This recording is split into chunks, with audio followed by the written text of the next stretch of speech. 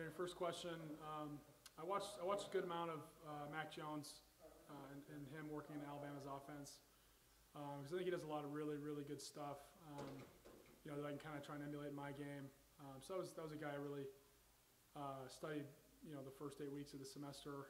Um, and then, yeah, spring's great. You know, spring's an opportunity for us older guys to, you know, continue to develop our chemistry, um, and, and really work on our offense.